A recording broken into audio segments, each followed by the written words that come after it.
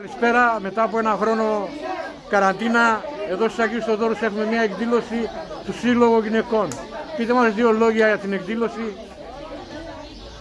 Θέλω να δώσω συγχαρητήρια για την πρωτοβουλία αυτή στην πρόεδρο και σε όλα τα μέλη του ΔΣ που ε, προσπάθησαν και, και έφεραν σε πέρας αυτό, αυτό εδώ που βλέπουμε σήμερα. Πράγματι είναι μια πάρα πολύ ωραία έκθεση και μια ευχάριστη νότα στο ζωφερό καιρό τον οποίο ε, ζούμε. Και θέλω ακόμα κάτι να πω με αφορμή και τα τελευταία γεγονότα που έχουμε ζήσει ότι ε, αξίζουν οι, οι γυναίκες το σεβασμό μας και να πάρουν κάποια στιγμή τη θέση που τους αξίζει στην κοινωνία. Ευχαριστώ πολύ. Ευχαριστώ πολύ. Κύριε Δήμητρα, η ανταπόκριση του κόσμου είναι μεγάλη. Πείτε μας δύο λόγια.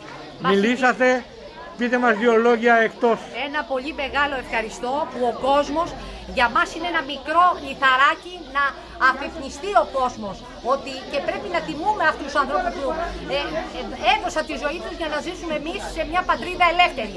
Αρκεί να τηρήσουμε και να μπορέσουμε να τη βαστίξουμε ελεύθεροι και εμείς να αγωνιστούμε. Όχι με λόγια, αλλά με πράξεις κύριε Κράου.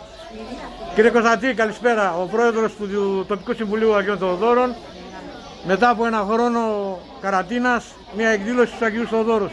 Πείτε μας δύο λόγια. Καλησπέρα και από μένα. Συγχαρητήρια στο Σύλλογο των Γυναικών για την πρωτοβουλία που πήρανε.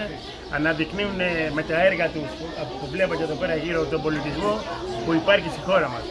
Για άλλη μια φορά συγχαρητήρια για την πρωτοβουλία και για την πρόεδρο την κυρία Δήμητρα. Ευχαριστώ πολύ.